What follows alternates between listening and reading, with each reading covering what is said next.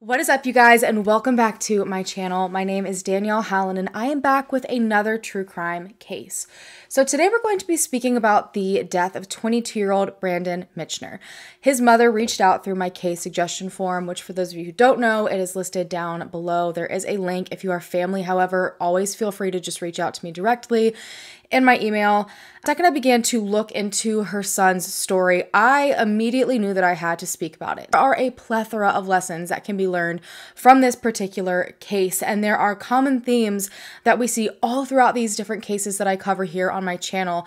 And my demographics are mainly those in their late teens into their 20s, so I feel like this is going to hit right into the sweet spot of those that need to hear it. And apart from that, I genuinely feel like the entire town of Lansing, Michigan, and just everywhere in general could be made a much safer place by hearing Brandon Mitchner's story and also hearing his mother's pleas for change. Before I get into the details of this case, I do need to say a huge thank you to Harry's for partnering with me on today's video. Partners like Harry's allow me to create this content to begin with and support these families however they may need. If you know me, you know I'm all about convenience, I'm all about sustainability, and I'm all about giving back to the community. And that is exactly why Harry's is not just my choice, but also my husband's choice of razor. Their new two-tone handle is not just reusable, but 50% of the plastic in the handle is recycled. So instead of tossing away whole disposable razors every single month and swapping it out for a new one, all you have to do is take off the razor head, pop in a new five blade razor refill, and you are back to getting a smooth shave with a lot less waste. The blade box is even recyclable, and refills are delivered straight to your door. Harry's razors are fair price razors for everyone. There is no pink tax, thank goodness.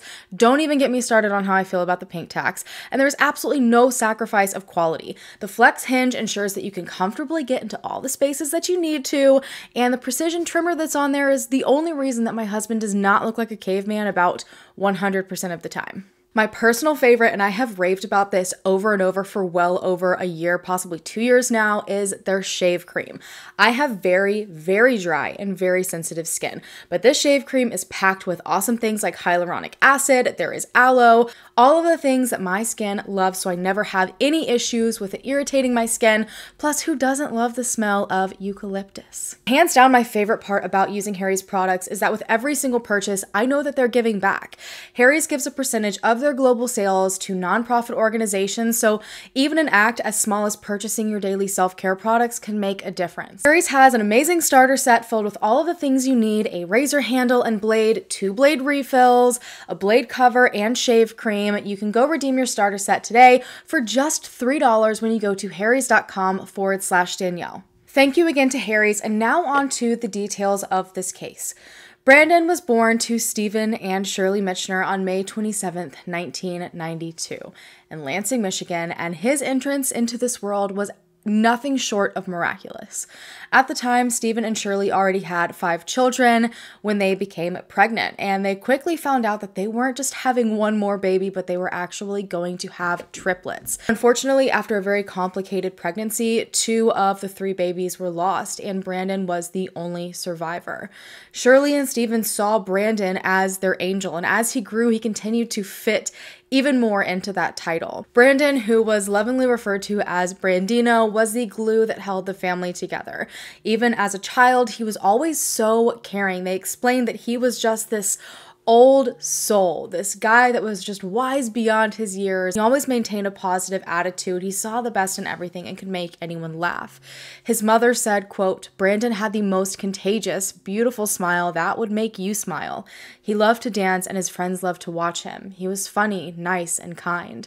And you can see why all of these different things made Brandon incredibly popular all throughout his childhood and into early adulthood. Brandon was the friend that stood up for others. He was the life of the party, someone that you could always look up to. His mission in life was to help others, set a good example, and live life to the fullest along the way. Brandon loved to work out. He absolutely loved basketball, but unfortunately, he found out at the height of five six that he was probably too short to ever play professionally, so he decided to set his sights on a goal that he had wanted for a very long time, and that was to be a business owner. Brandon went to Lansing Community College right right after graduating high school, and he graduated from Lansing Community college in 2014 with an associate degree in marketing, and he had plans for furthering his education. He wanted to eventually push towards a bachelor's degree in marketing. And all while in this final stretch of college, he decided, you know what? Why wait? Why not go ahead and dive headfirst in creating my own business right now? And so he came up with the idea of a fashion brand called MIM or M I Y M, an acronym for Make It Your Mission. And I think more fully, he said, Make it your mission to do the right thing. He had one of his sisters draw up the design and they started to print it all over sports clothing, baseball shirts. Um, I think they had just a few regular t shirts, things like that. And he ended up going into business with a guy that he knew from high school. Now, this business partner has been redacted from all of the available police reports that I was able to get my hands on. So I will just be referring to him as John throughout the remainder of this video. And as a gentle reminder, please maintain that same respect in the comments below. From what Brandon's family and friends have stated in interviews, Brandon and John had never been close friends in high school. They were just really acquaintances. And even up to the point where they were working together, it still seemed like they were more so strictly business partners. I'm assuming that John just brought something to the table that would have been beneficial to the business, and this is how they ended up in business together. Brandon was setting himself up for this beautiful life. He was a phenomenal example of a young black entrepreneur, but unfortunately, his life ended up being cut short. On June 28th, 2014, Brandon spent the day with his family. The 29th of June was a well known important day in the Mitchner household. Not only was it their father Stephen's birthday, but it was also Stephen and Shirley's anniversary. So it was 29th anniversary on the 29th. So this one in particular was huge. And to celebrate, Shirley and Stephen decided that on that early morning of the 29th, they were going to fly out, go to Florida, sit at a nice hotel, and enjoy some time together. So, because of this, they decided to hold all their festivities and all the celebrations would be done the day before on Friday, the 28th. During the family get together, Brandon mentioned to his parents that he was going to go out that night. He apparently had a high school friend that was turning 21, and so they were going to get on a party bus and be carted all around downtown Lansing. He had originally not been sure about going to this party. He had a very, very tight knit group of close friends, people that had been his friends for over a decade since he was very young. And this particular group of people, he did know the birthday boy, um, but he really didn't know anyone else that was going to be there. His business partner was one of the individuals that was going. So after a bit of persuasion, Brandon finally said, you know what, this could be fun. I guess I'll go. Mom made sure to tell Brandon, you know, please be careful, make good choices. And she remembers that Brandon responded by cupping his hands on her face and saying, You raised me me well. I've got this. And this was the last time that Shirley would ever see her son. By later that night, I believe it was shortly after 11, Shirley woke up and was a little bit concerned that Brandon had not reached out to her. Despite the fact that Brandon was an adult, he can go off and party, do what he wants, he still usually maintained some sort of contact. He would always check in, a text message, a call, or something to say, hey, I'm fine, this is where I'm at, everything's great. But he hadn't done that yet. However, Shirley did not want to immediately panic or anything like that.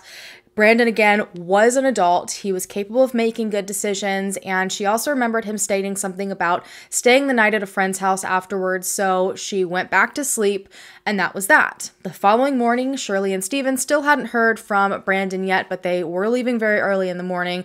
So again, not immediate panic. So they hopped on their plane and flew out to Florida. But the moment that they went to open their hotel door, they got a phone call that stopped them in their tracks. It was their daughter, Bianca, and she said that Brandon was missing. All Bianca knew was that she started receiving these messages on Facebook and seeing Facebook posts about people looking for Brandon and Brandon being missing. And when she started to try to reach out to him, she could not get in touch with him. His phone was going straight to voicemail, he wasn't at home. They had been calling local hospitals, local jails, all to no avail. Nobody knew where Brandon was. And this was entirely unlike him. From the brief kind of overview I did looking through his Facebook and things like that, he was constantly on social media. He it seemed he was in constant contact with friends. He seemed to be in constant contact with family. So for him to just kind of up and vanish overnight, something was definitely wrong. Stephen and Shirley booked the soonest flight they could, which didn't have them leaving until the following day of the 30th. And what happened that night that Brandon went out started to slowly come into focus. So, as a quick rundown of the party itself and the plans that were there for that night, according to those that were there, this wasn't ever specifically hashed out in the police reports, but allegedly, the birthday boy's father was part owner of a place called Suits Tavern in downtown Lansing, and it's right off of Washington Avenue. And he was the one who decided to set up and pay for this party bus.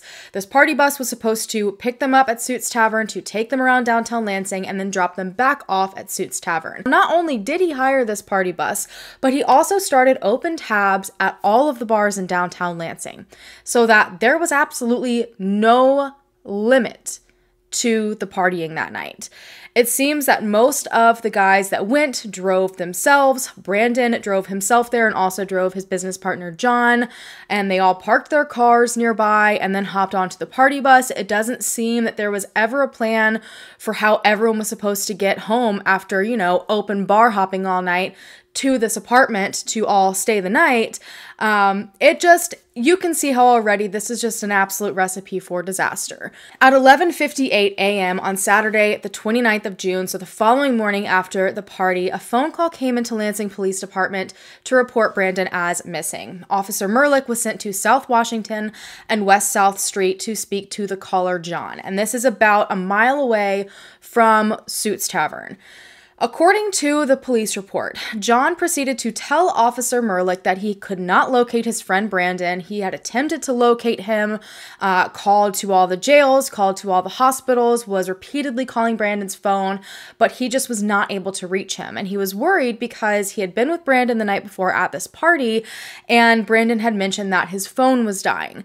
Now, he then went on to tell the officer, and this is directly from the police report, that that night they had both gone onto this party bus at Suits Tavern at around 7 p.m. They then went to multiple bars that night and ultimately ended back at Suits Tavern. John remembered at this point that Brandon was heavily, heavily intoxicated, and he stated that he was also very intoxicated, which is no surprise because they did not have to pay a tab the entire time they were out that night. Um, 21, 22 year olds thrown in that situation, good grief. Uh, but Brandon was to the point where he could barely stand, according to John. And as everyone was back at the bar, back at Suits Tavern, from my understanding, everyone was trying to figure out what they wanted to do next, if they wanted to go home, if they wanted to um, go out to a few more bars. Brandon proceeded to walk off outside, so John saw this and decided to follow him. He stated that it was a common occurrence for Brandon to pass out at parties from drinking too much. This is what John has claimed. And so I'm assuming that he made this statement to show why he had some sort of concern for Brandon walking off on his own. And so basically, he's saying that he just followed behind Brandon as Brandon headed off into the night. At some point during this walk, Brandon took off running, and suddenly they were on this dead end street of West South Street. I'll have a picture up on the screen so you can see exactly where they started and where they ended up. He told Officer Merlick that he was standing at the edge of the sidewalk when he heard a loud thud, and he pointed out to Officer Merlick as they're standing there the next day this flat area just beside the sidewalk uh, and stated that this is where he believed he heard that thud and that he believes that thud was Brandon falling. While he mentioned hearing this, he never specifically stated that he saw it. He claimed to believe that Brandon was vomiting. Uh, he had already been throwing up pretty much at the past couple of bars they had been at.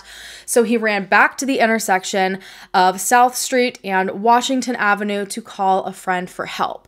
For some reason, the friends could not locate him, and so instead of going back to help Brandon himself, John claimed he began running away and ended up at an Admiral gas station on South Cedar Street, which is about a half mile away and a 12 minute walk on foot, according to Google Maps.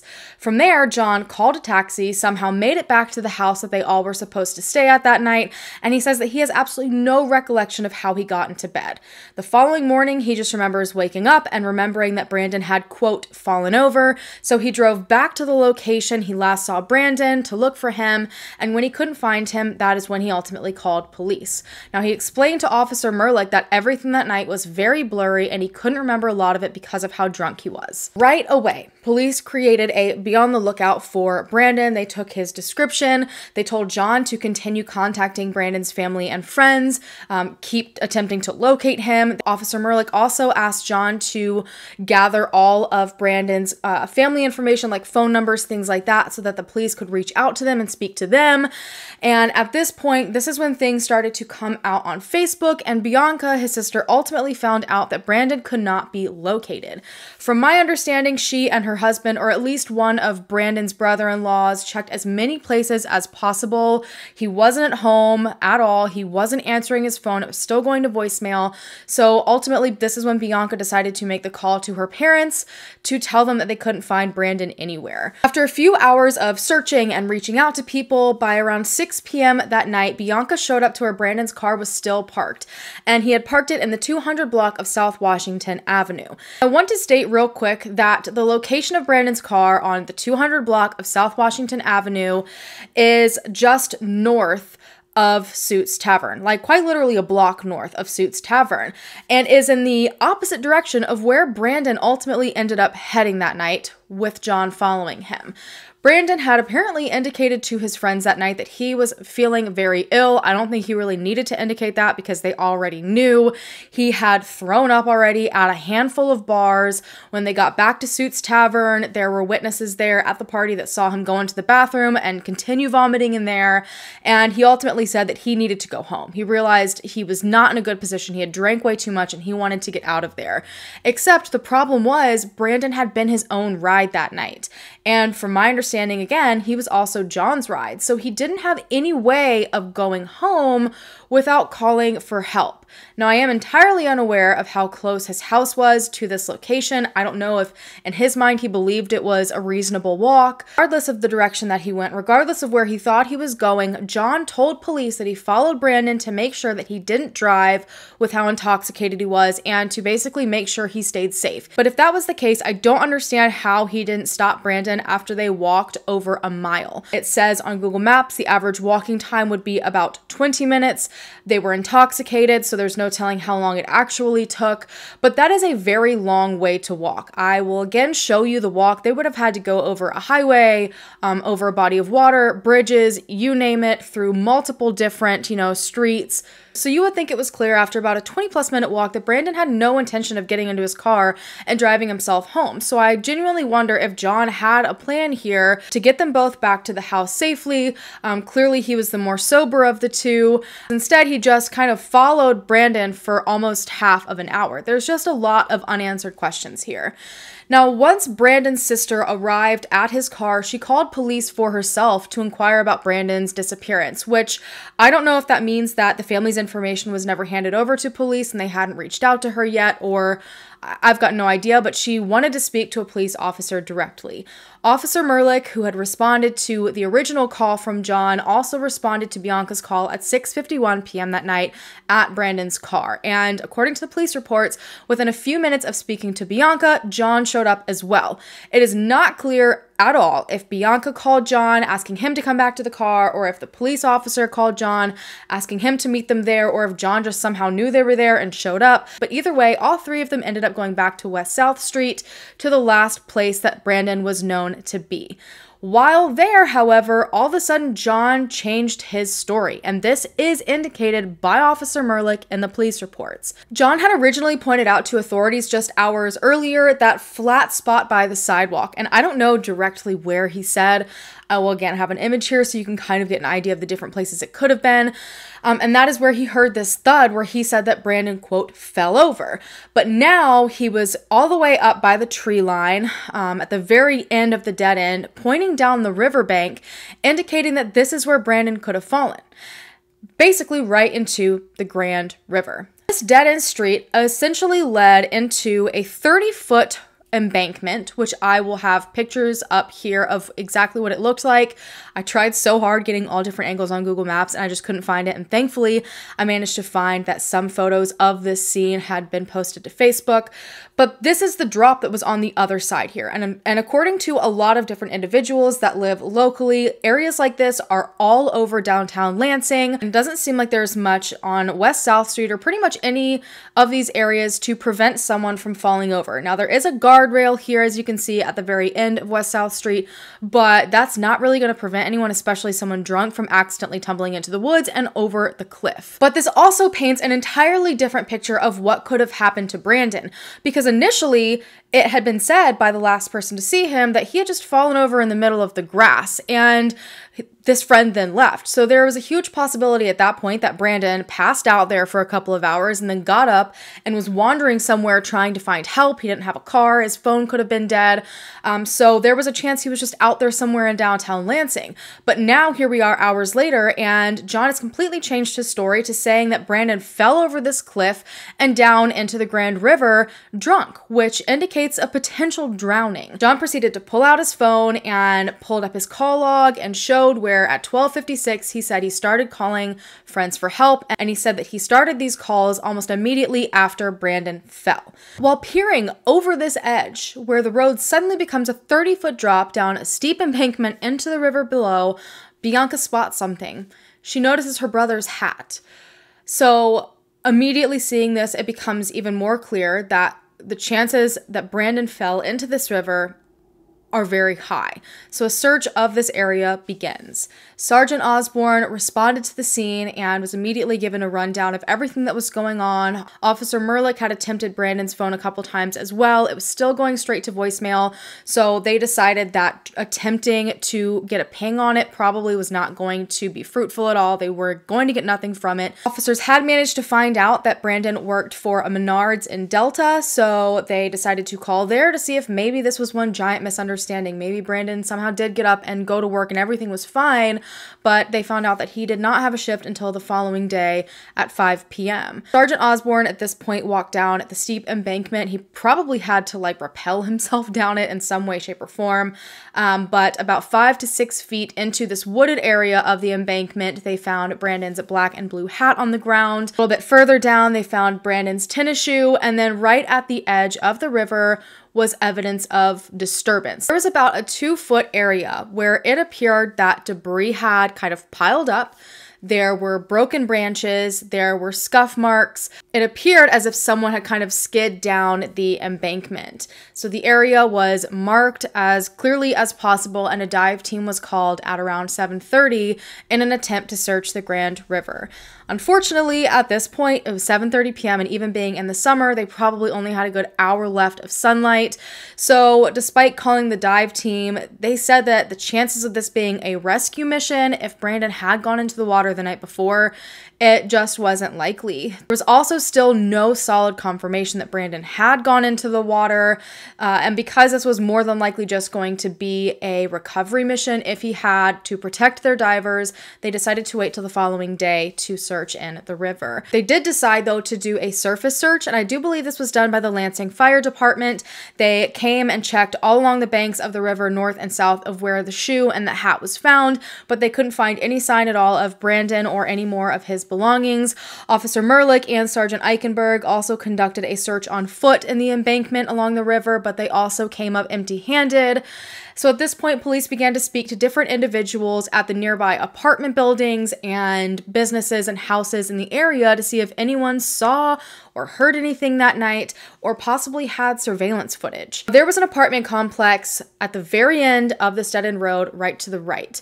Um, and a woman who lived in this apartment complex told police that she was a very light sleeper. So if there had been anything that happened that night, she likely would have woken up to it. She did not remember ever waking up to anything, but she did see something the morning of the 29th. According to her, she stated that she awoke that morning and was outside at around 10 a.m. She came in contact with two males.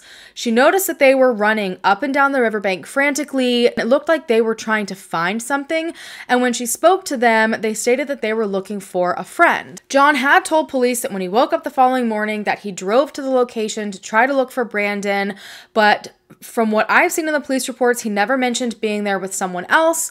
Uh, and he also didn't mention to police that he had already been there for two hours before calling police. And by the time police arrived, the second person was entirely gone. A lot of this information just seemed off and didn't make a lot of sense. John, according to his own interviews with police, stated that he followed Brandon in order to make sure that he was safe.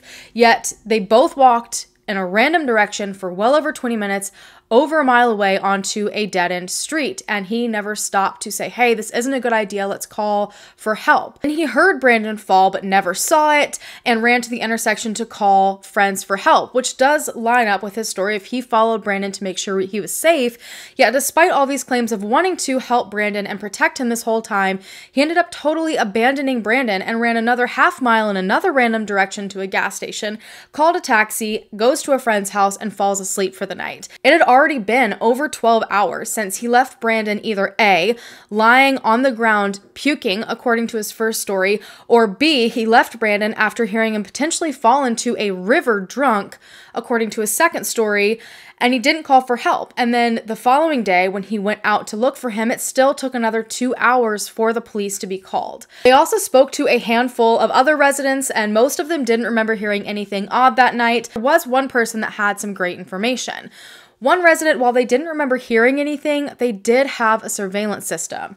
So the camera was on the apartment complex building and it was pointed towards the intersection of West South Street and Washington Avenue. So, right at the intersection that John allegedly made phone calls to friends that they came off of to get onto West South Street. And if it was working, it would have captured both John and Brandon walking towards the dead end at the river. The resident showed police the video, and I have a snippet here to show you. The timestamp of the footage, as you can see, is 12:27 a.m. It is painfully obvious how intoxicated Brandon is from the footage. They both start out walking side by side, and then you can see that Brandon ends up eventually walking ahead of John. Then right before going out of frame, you can see that John has his phone and he pulls it up to his ear. Both of them then disappear out of frame and they are gone for a total of 11 seconds before all of a sudden John can be seen now in the middle of the road, no longer on the sidewalk running away frantically. Whatever he just saw, he felt the need to run from. Now, this does match up to the story that John gave that something happened at the end of that road, whether it be Brandon fell on the ground or fell into the river, and that he ran up to the nearby intersection to call friends for help. He did point out the phone call to his friends when speaking with police, but the video shows him coming back for a second time two minutes later. He approaches the end of the road, goes out of view for 17 seconds this time, and then for a second time is seen running away from the river. Now, the surveillance footage that is available out there only shows the first time that John kind of goes off screen with Brandon, runs away. It does not show him come back two minutes later. It does not show him run away. Um, but I do want to say I just don't believe the full video is released because that information is in the police report. So that is what is seen on the video that two minutes later, he comes back for some reason and again runs away, but it seems it's not nearly as frantic as the first time. But from the video that we do have, it's obvious that Brandon is heavily intoxicated. Now, I can't say for a fact how intoxicated John was, but just my personal opinion, he at least doesn't appear as drunk as Brandon. And also, some of his actions don't really support him being as intoxicated as he described himself to police. He claimed to police that it was all a blur and he had no recollection of anything because he was so drunk. He even told police that he had no idea where he was. And he supported this statement by saying, you know, my friends couldn't even find me. But we do know a handful of things. He was thinking clearly enough to follow Brandon when Brandon left Suits Tavern and walked off on foot.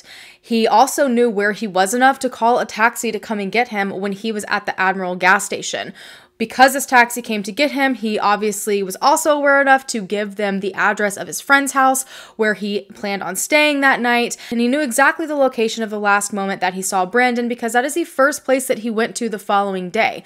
So, while yes, he may have been intoxicated, he did have an awareness to him. If he had the sense of mind enough to do all of those things, At the very least, he should have been able to call police when he saw his friend in trouble, but for some reason he didn't. And what happened when he went back that second time? Despite the fact that police obviously have that information, he never explains it in any of his different interviews with authorities. Was Brandon gone when he came back that second time? Um, was he still there throwing up, which would match up to his first story? The surveillance video also showed the time that Brandon went out of frame, and it's believed he went down the embankment into the river as 12:27 a.m. But according to John's phone records and when he stated to police that he started calling for help, which he said was directly after Brandon fell, that was 30 minutes after Brandon fell. He said these phone calls happened at 12:56, 12:57. So what happened within that 30 minutes? I'm also curious about when John put the phone up to his ear just before going out of frame. Did someone call him? Did he call someone? Was there potentially someone else on the line who may have heard what exactly happened that could give police some sort of information? Um, and I just have not seen it mentioned anywhere. Later that night of the 29th, as the investigation is ongoing, it was about 10:30 p.m. when police have another phone call. Now, this time it's one of Brandon's really close friends. He said that they had been friends for well over 15 years and he was calling police because he had concerns. So he told police that John was not just a random friend, which, from the way it was described in the police reports, that's what it was believed at the time that John was just a friend of Brandon's. John was actually Brandon's business partner. And this friend of Brandon stated that Brandon and John had been having a lot of arguments over their business, over money, over t shirt production. He also said that he saw some strange posts on Twitter and just wanted to make police aware of this information in case they didn't know it. Now, I'm entirely unaware of who posted these tweets, what was said in them. This did open up to police that there had, in fact, been issues between Brandon and John, and John was one of the last people to be with him. The following day, Sunday, June 30th, as Brandon's parents are heading back home, Detective Hogan goes out to the scene. He starts taking photographs, interviewed a few more residents, but there was still no one who really saw or heard anything that night. And the dive team began to gather out at Elm Street Bridge to begin their search. They decided to split into two separate separate teams. One team was going to use patterns to search the probable area that Brandon would have fallen in based on all the information they had so far the last place that he was seen, his hat, his shoe, all of that debris, the skid marks. Um, the other team was going to go just downstream and use side scan sonar to kind of guide them as they worked their way up the river. And just around 1 p.m., they ended up locating Brandon's body. Side scan sonar had indicated something in the water around the bridge, and they decided to mark the area with a floating marker. This is kind of how they guided the divers to check a specific location where there might be something of interest.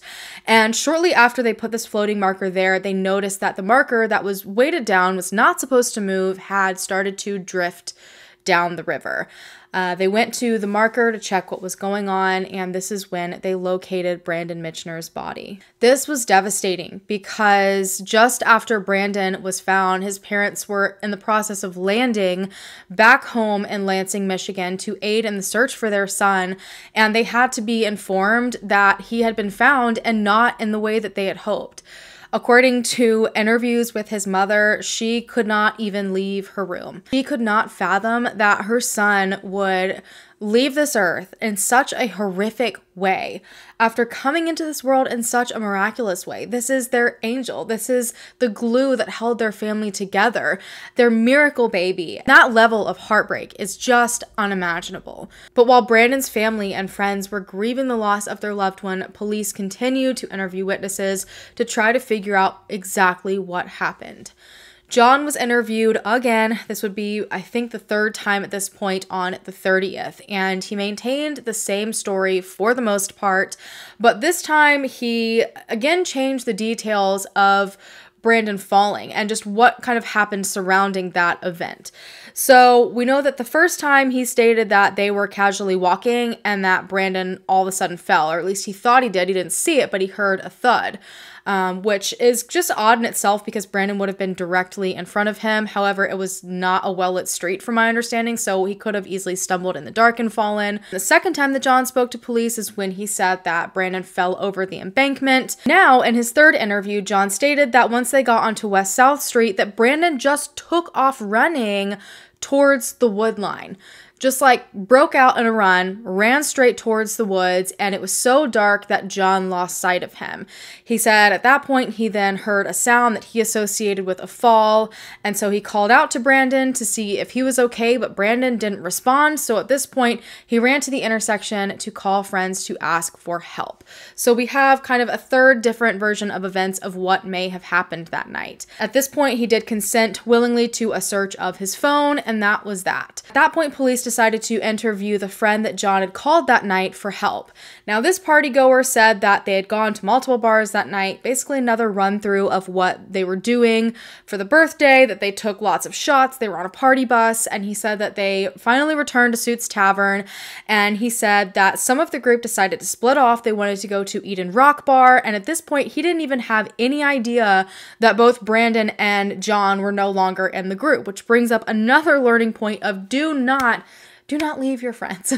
do not leave your friends when you go out. Stay together as a group. Have someone there to make sure people do not get split up because when that happens, things tend to go downhill, as we've learned so many times on my channel. He said that he wasn't aware they were gone until he received a phone call a little later on from John, who was on the other side of the phone saying something to him about Brandon falling. So we do have this corroboration that John did in fact make a phone call to friends. We know according to his records it was at 12:56, but he did call this friend of his. Now the witness stated that at this point John did try to give him his location so that the friends could come and help, but he was unable to to find it on his phone's GPS. And I'm not exactly sure if that means that John wasn't able to find his location on his GPS to give it to his friend, or if he did manage to give his location to his friend and the friend couldn't find it on GPS. Maybe John's phone just wasn't getting service by the apartment or in that area. Maybe that's why he ran to the intersection. I don't know. But either way, they could not manage to link up figure out a location, and everyone meet each other. John apparently kept on calling him a handful of other times, and eventually he said that the calls just stopped. And when he went back to his home where everyone had planned to stay that night, John was already there. Now, he does not make it clear at all if anyone spoke about these frantic calls about John calling, claiming that Brandon had fallen over.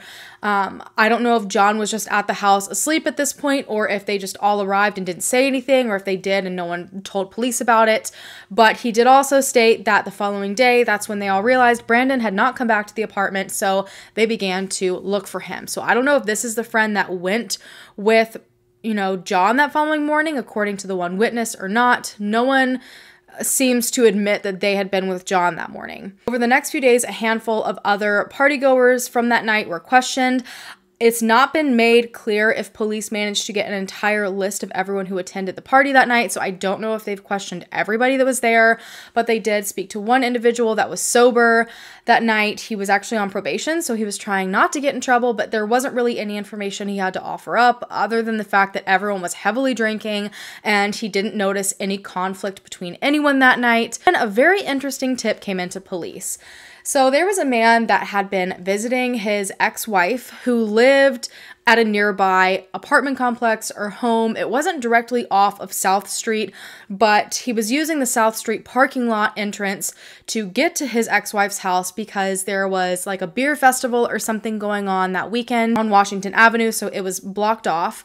Um, but either way, he had gone to her home at I think around 11:30 and he said that he was leaving at around 1:20 and he had used that parking lot that was right beside the apartment complex, the exit that goes out onto West South Street, that dead-end road. And as he was pulling out at 1:20 a.m., he noticed two individuals standing by the guardrail at the very end of West South Street, and it appeared to him that they were fighting. They were arguing, and he heard one of the males say, "I'll kill your ass," and a whole bunch of other other expletives. But it was loud enough and violent enough for him to, you know, take note of it. And he also noticed there was a gold Ford Explorer parked on South Street, and there was a male kind of standing outside of it, almost like he was waiting for the other two individuals.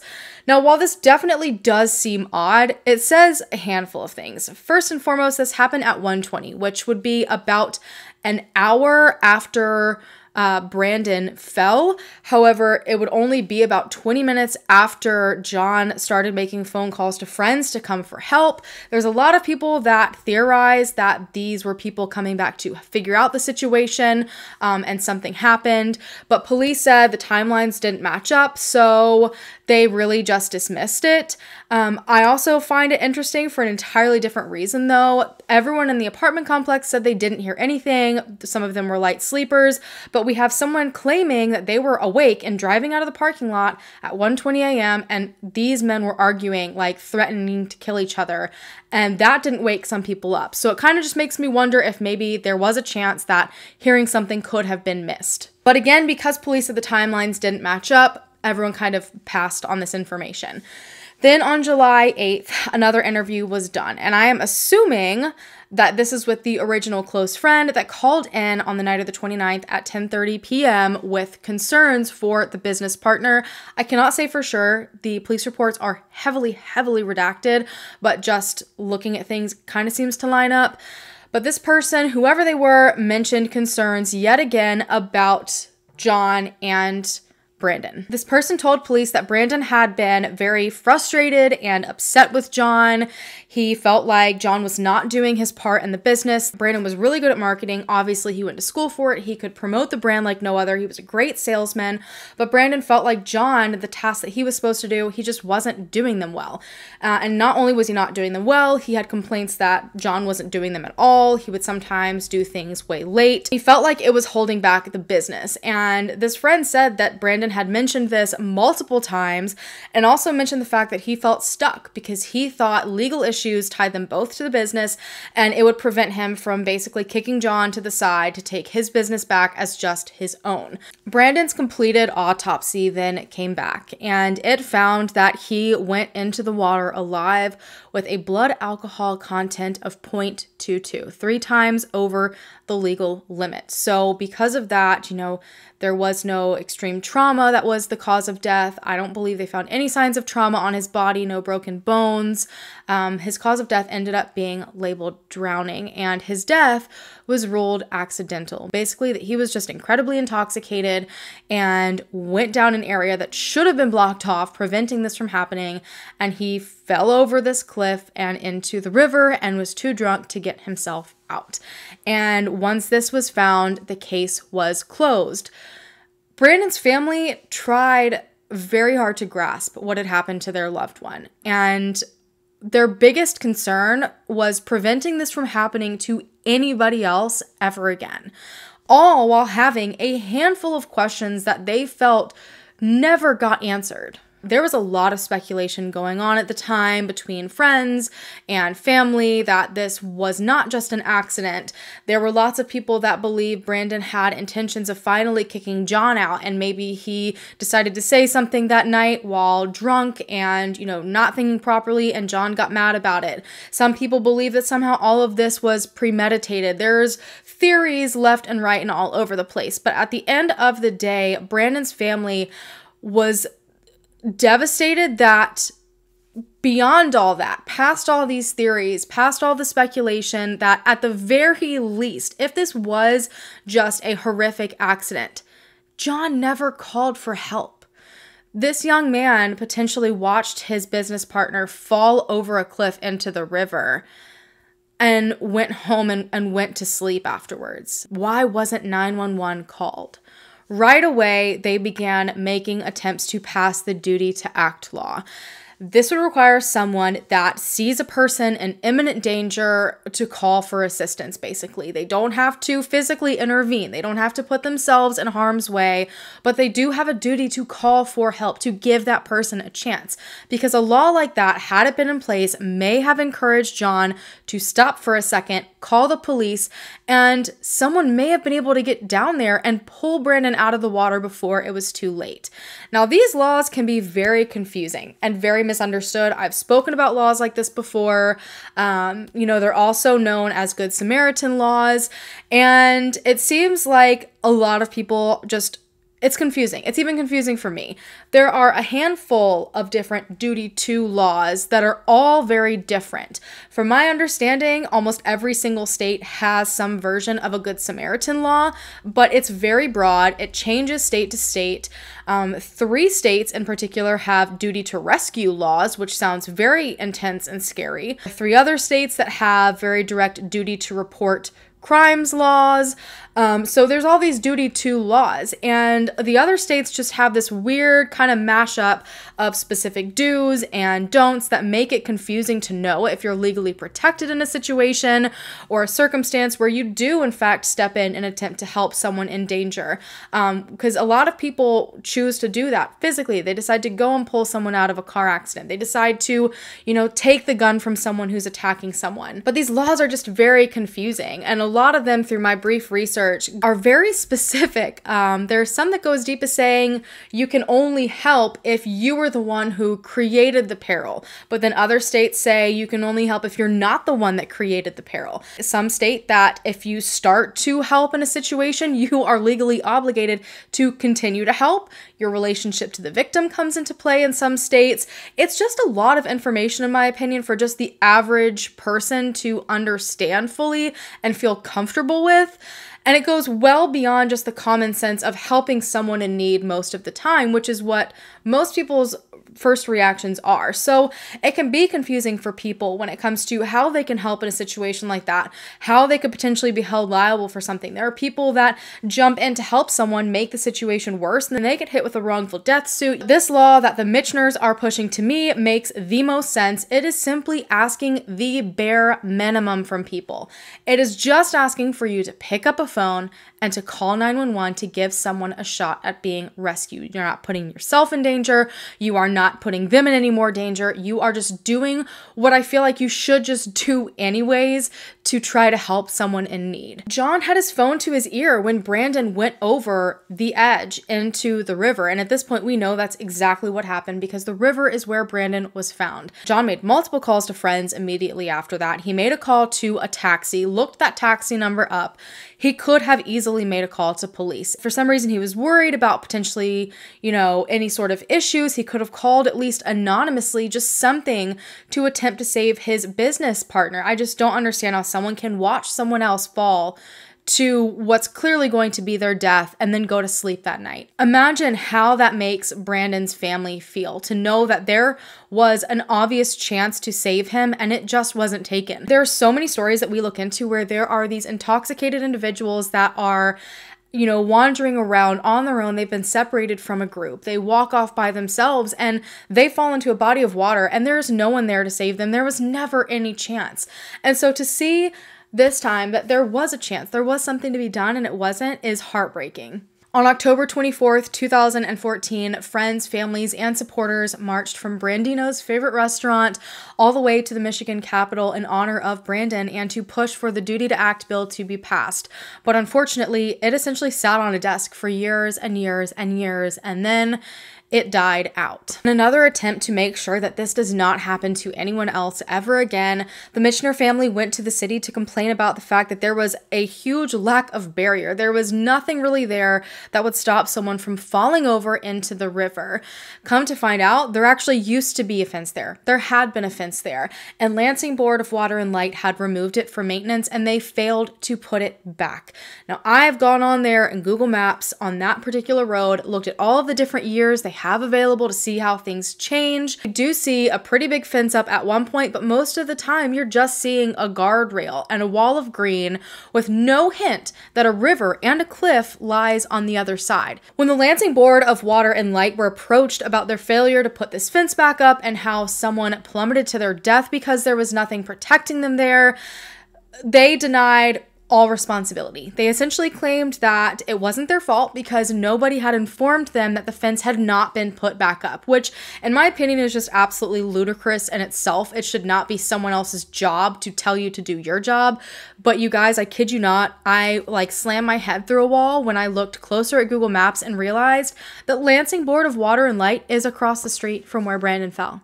It is on 6th Street I will circle it here. You can see how close. They likely go by this area where the fence had been taken down and wasn't put back up every single day. And somehow it is still someone else's responsibility to tell them that they didn't finish their job that is across the street. While the Mitchners were not able to hold them responsible, unfortunately, for any of that, they did get the city to agree to put up a new fence to hopefully, again, prevent this from happening to somebody else. I believe the fence went from the guardrail and it extended all the way to the corner of the apartments. But unfortunately, this is not the only location that is exactly like this all over and along the Grand River in Lansing. A quick stroll through Google Maps shows multiple buildings, sidewalks, dead end roads, parking lots, all these things, businesses, all pushing up to the edge of the river, with bare minimum safety measures put in place to encourage people to not wander over the edge. This is very concerning because the area that this is in is lined with bars. It's like one of the main strips in Lansing, Michigan. There's bars, hotels. Just that weekend, as I stated, there had been a beer festival. It's a prime location for intoxicated people. There's a college. Other incidents like this could happen again. And if they were really concerned about protecting the safety of their citizens and the people that are just pumping money into the economy through the bars every weekend, they would have continued putting up fences all along Lansing, but to my knowledge, they didn't. So to me, it just seems like this big move that they did to essentially get his mom to be quiet. So the fence is put up, so at least she knows this street is not dangerous anymore. Um, but Brandon's mother was not done yet. She wanted to fight to have the case reopened and reviewed. I have told you the entirety of the incident report. This is all the information that we have, aside from more detailed interviews that were captured on audio and video that I didn't have. Um, but you can see how there's so many questions. So she wanted to push as hard as she could, contact anyone she could to just look into into this, make sure there wasn't something missing um, because there were things that didn't make sense. Now, the sheriff's office has to this day declined to review the investigation. They have refused to touch it, but the state police have looked into it twice. I know that the Lansing Police Department did specifically hand it over to the state police one of those times. I am unaware if they did that the second time, but there was a review in 2017 and 2020. And according to those reviews, the state police determined that everything was investigated properly and there was nothing more that could be done. The Attorney General was also reached out to to look into the case and they did remain silent for a while. But then finally, in June of 2021, the Attorney General also declined to do anything with the case, refused to investigate it, um, and actually recommended that the case not be reopened at all. Lansing Police Department, on the other hand, did decide to put two independent detectives, senior detectives at that, on the case to investigate it between 2014 and 2018.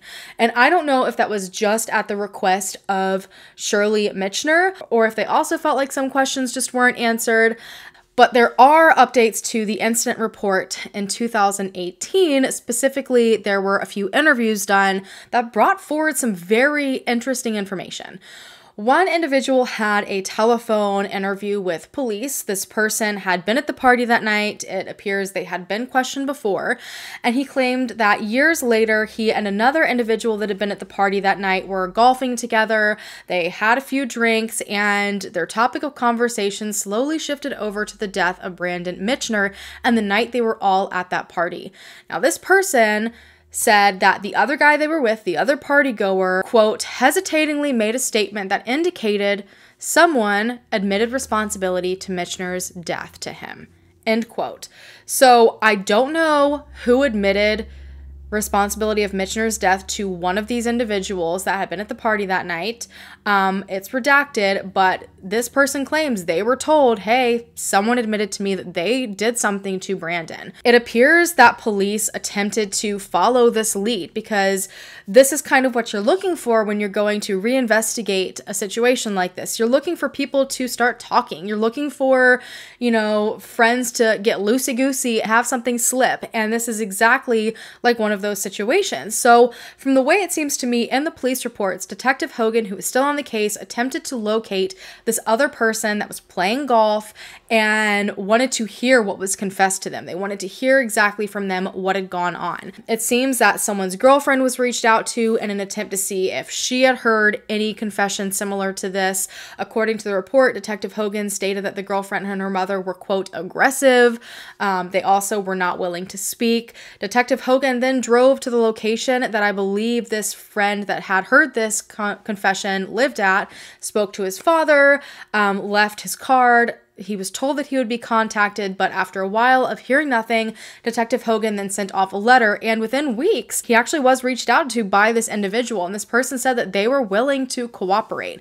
So that's huge. They thought they were going to finally have some sort of information, be able to figure out exactly what this confession was, the details around it, but after multiple attempts to reach out to this individual after this point, after he stated he was willing to cooperate, he went completely quiet. They were never able to get a response from him ever again. So nothing ever moved forward. And that sucks because that is a very interesting piece of information. Granted, it could have been rumor. Unfortunately, because this person would not speak, authorities were not able to determine the validity of these statements, of what this person told them. Another witness who had been at the friend's apartment that everyone stayed at that night was also re interviewed, and they also had something interesting to say. They stated that they were at the apartment that night, they were playing video games, and well after midnight, either two or three three individuals, the redactions and the way it's placed on the page kind of makes it hard to determine that.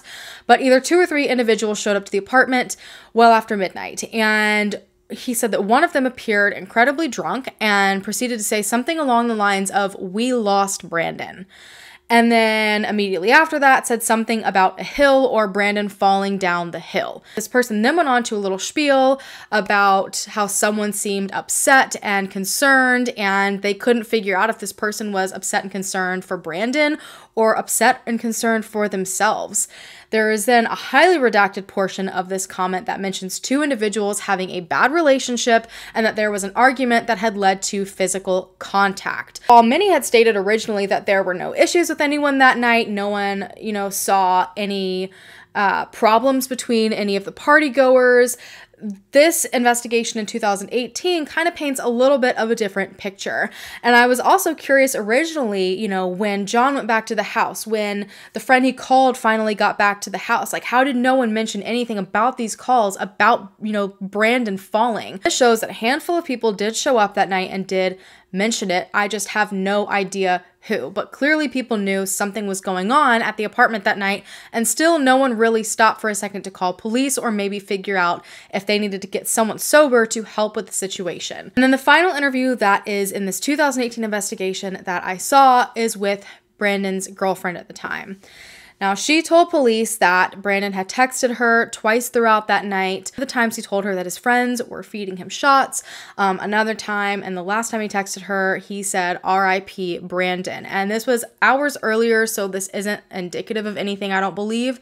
Um, it's more than likely just like I drank too much. But that was the last time that she heard from him. She did confirm with police that there were a few issues between John and Brandon at the time. She said that John saw the business that he shared with Brandon as a side job from how she felt. That's also how Brandon felt. He just didn't see it as a priority, and Brandon did, and Brandon wanted to push it further. But she also stated again, despite this clear tension being there within the business, that she was never aware of any violence between the two, any threats between the two, or just any violence against Brandon at all from anyone. Probably the most interesting thing to me that came out of the interview with the girlfriend was that that particular day, she was supposed to see Brandon. He was supposed to show up to her house, I think originally between like 8 and 9 in the morning, but then he said he'd probably be later because he was going to go out that night, which he had not originally planned on doing, if you remember. Um, but after a while, when he didn't show up to see her in Kalamazoo, when she couldn't get him on the phone, when his phone was going straight to voicemail, she, along with, you know, handfuls of other people, started to worry about him, unaware that he had been reported missing. And so she didn't know these guys that he was with the night before. So it's not like she had anyone direct she could really reach out to and contact. She was, you know, reaching out to friends of friends of friends. Eventually, she ended up getting in contact with John. And this was around 3 p.m. on the 29th. And remember that Brandon was reported as missing by John at noon that day. Now, when she asked John if he knew where Brandon was, John replied, He's not with you? I thought he was with you. Why would John have said that, knowing that hours earlier he himself had reported Brandon as missing? And hours before that, by his own admission, he had ultimately heard his business partner fall into the Grand River. Why would he then go on to tell this guy's girlfriend, Oh, I thought he was with you? Knowing that's not at all the case. But after all this information and after all of the reinvestigation, it just seemed like everything stalled again. I don't know if they like closed the case again or anything along those lines. But according to the Justice for Brandon Facebook page on August 27th, 2021, so not even a year ago, Lansing police asked every single person that had been with Brandon that night to come back into Lansing Police Department and speak to them. So clearly they are trying to reinvestigate everyone all over again, clear up this picture a little bit, but allegedly they all refused. I don't know if that's true or not. That is just what's on the Facebook page. And after this, I'm entirely unaware of the status of the investigation. I don't know if they're still trying to contact these people. I don't know if at this point they did manage to get them to come in for interviews. It's an open investigation, so obviously police are likely not going to share any of that information. Now, I have seen at some point that the Mitchners did hire a PI, and then in 2020, Shirley decided to relaunch Brandon's clothing line. She did add her own design of a lion to honor her son. There is a website that I have linked down below, so you can go down there, purchase some of his designs, keep his dream going, keep this sport going for his family. Um, they have a whole bunch of other information on the website as well that's really interesting. Shirley said, quote, he was a giving person. He made it his mission to help others. Now it's become my mission to carry on his words. So I say to those who know what happened to my son, to those who have information, make it your mission to do the right thing. Shirley has also created a pretty awesome scholarship in Brandon's honor, which I think is really cool. The Mitchner family has really managed to take this tragedy and turn it around into as many positive things as possible, which is exactly what I think Brandon would have done if this was somehow reversed and what Brandon would want them to do. In an interview with Dateline, Brandon's close friend said that he wished Brandon had not gone out that night, that he had not been out with people that were not his close friends, that if Brandon had been with his closest friends, none of this ever would have happened. And I feel like this is just a huge, huge lesson on going out and being in a vulnerable position and just making sure that you are with people that you can trust. Make sure that there is a solid plan of some sort. Don't leave your group don't split up. Don't leave your friends. Make sure that there is someone there that is sober, that can ensure that this plan is followed because a drinking mind loves to wander. Um, so that people don't have this opportunity to just walk off, do whatever they want, and possibly end up in a bad position.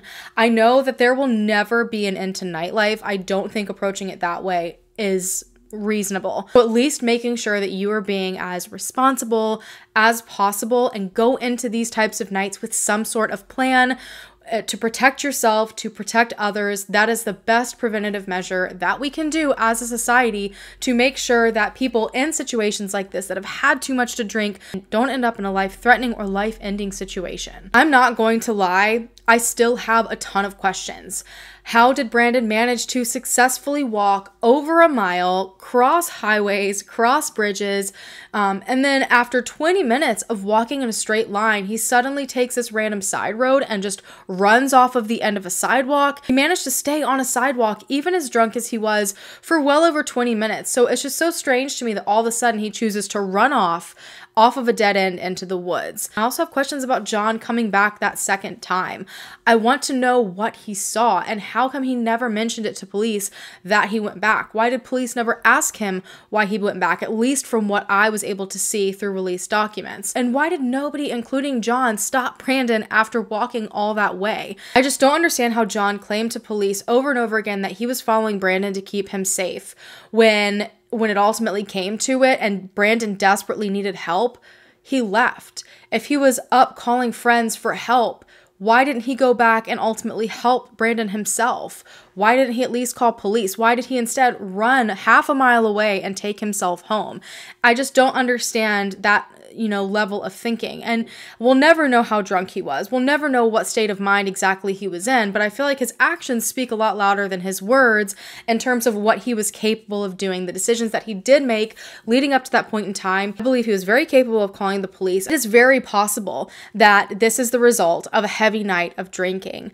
But if that's the case, I just don't understand why stories kept changing and why ultimately the police were never called. I just feel like this entire situation could have been prevented on so many different levels. I am heartbroken for Brandon and his family and his friends, and I hope more than anything that someone learns something from this and another tragedy like it is at the very least prevented.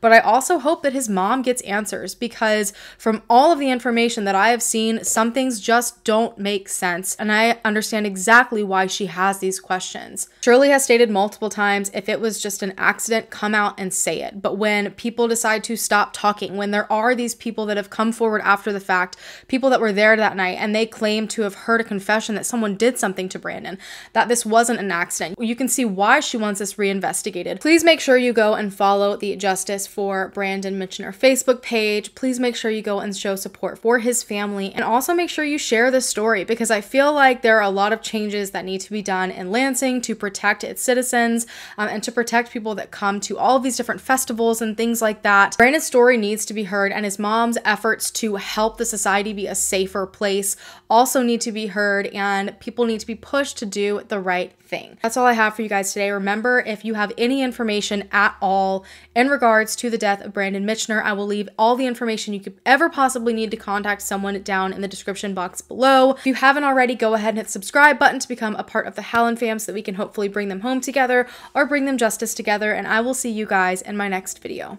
Bye.